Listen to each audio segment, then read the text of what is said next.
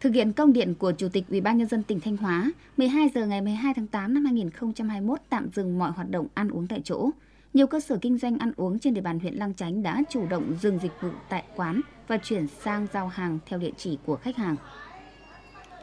Mặc dù công điện của Chủ tịch Ủy ban nhân dân tỉnh Thanh Hóa, việc tạm dừng hoạt động ăn uống tại quán bắt đầu từ 12 giờ ngày 12 tháng 8,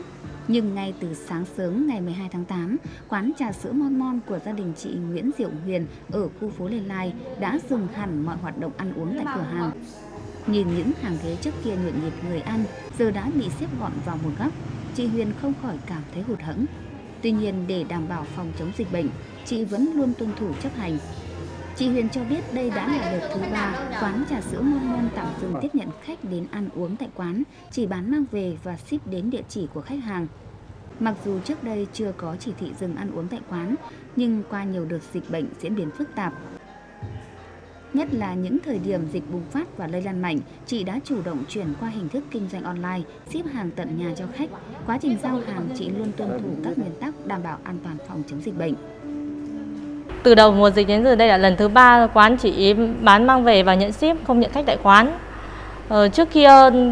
chưa có chỉ thị của tỉnh thì nhưng mà dịch bệnh thấy phức tạp nên là quán mình cũng chủ động là bán mang về và mặc dù mặc dù như vậy cũng ảnh hưởng lớn đến kinh tế trong gia đình nhưng mà nhằm đảm bảo cho cộng đồng nên là quán cũng nghiêm chỉnh chấp hành tốt ạ. Vốn dĩ trước đây, quán bún chả của gia đình anh Nguyễn Văn Huệ ở khu phố Lê Lợi kinh doanh song song hoạt động ăn tại quán và giao hàng tận nhà cho khách. Vì thế, khi có công điện tạm dừng hoạt động ăn uống tại quán của Chủ tịch Ủy ban nhân dân tỉnh, gia đình anh Huệ đã ngay lập tức chấp hành, chuyển toàn bộ hoạt động buôn bán tại quán sang giao hàng tại nhà.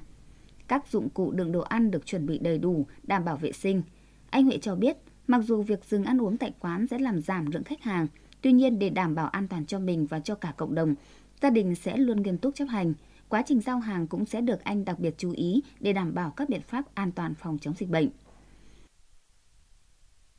Nhận được ờ, thông báo của tổ giám sát Covid khu phố, thì gia đình chúng tôi chấp hành tốt các cái chủ trương của tỉnh. Theo cái ờ, công văn số 24 ngày 11 tháng 8 của Chủ tịch Ủy ban nhân dân tỉnh, thì gia đình trong cái phòng chống covid là phải tự bản thân ý thức được cái việc phòng chống cho mình, cho gia đình, rồi sau đó là ra đến xã hội và không những là cái việc phòng chống covid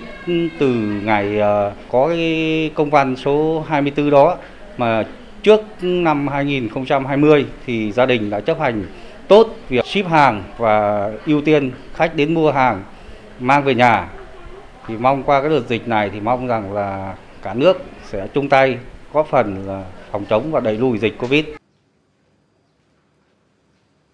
Qua khảo sát tại huyện Lăng Chánh, không chỉ các quán ăn uống trên địa bàn huyện nghiêm túc chấp hành chỉ thị công điện về phòng chống dịch COVID-19, nhiều cửa hàng kinh doanh các dịch vụ khác cũng đã chủ động hơn trong việc thực hiện các hướng dẫn của ngành chức năng – Tuy nhiên, để tiếp tục thực hiện có hiệu quả công tác phòng chống dịch COVID-19, cùng với sự quyết liệt của các cấp chính quyền, mọi người dân hãy nâng cao ý thức, tuân thủ thông điệp 5K của Bộ Y tế và các khuyến cáo của ngành chức năng bảo vệ sức khỏe của mình và của cả cộng đồng.